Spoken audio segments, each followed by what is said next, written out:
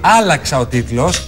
Τελείως διαφορετική δέσποινα, καμία σχέση με αυτή που έχουμε συνηθίσει όλα αυτά τα χρόνια, ανανεωμένη. Σήμερα λοιπόν κυκλοφορεί το CD με τα τραγούδια του Φίβου και στις 24 Σεπτεμβρίου ο Φίβος συμπληρώνει 20 χρόνια στην ελληνική δισκογραφία. Μάλιστα.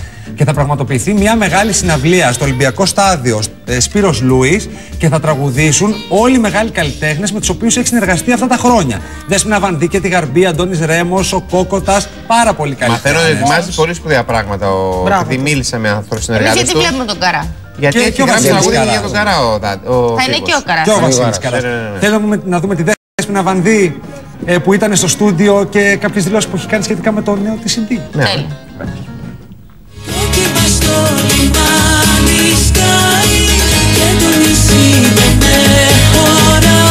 Μετράμε πάρα πολλά χρόνια στην ε, δισκογραφία μαζί με το Φίβο. Πάντα ο άλλος περιμένει κάτι περισσότερο, κάτι περισσότερο. Και εσύ αγωνιάς αν μπορείς να το δώσεις αυτό.